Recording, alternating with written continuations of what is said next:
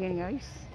Welcome to my channel. Ayan, mag-horse riding yung mga yung mga kids, oh. Yan, kahit hindi pala kids, pwede pala mag-horse riding yung malalaki.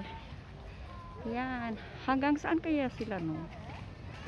Siguro hanggang doon sa may bundok-bundok. Ano, si nag-horse ride yung ay bata pala. Hanggang saan? 9.50 after 1 o'clock pala. Ayan.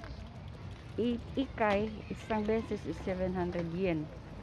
700 yen yung isang beses. Ayan. 700 yen equals ano na rin yun, 300 pesos. Or 1,000 yen equals 400 pesos, di ba?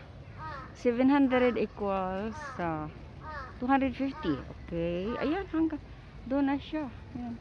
Daming naghihintay, oh. Hihintay sila sa next. Dito tayo video natin. Ayan, nagka-camping. Maraming nagka-camping dito. Mga pamilya. Pag Sundays, di ba? Camping sila. Oh, nag-camp. Meron sila mga tent. Yan, nagte-tent sila. Yan. Diba? No. Asa na? Ay, bilis naman matapos. 700 yen, yen lang yun. Tapos balik na kagad. Bilis naman ang pera. bilis kumita ni Manang. Yan o, 700 na kaagad. Balik lang, ilang ano lang. Ilang, hindi nga, ilang minutos lang yan. Ilang, ilang minuto ba yun? Ayan, madali lang o. Ayan, meron na kaagad. Sana maraming kabayo para ano di ba?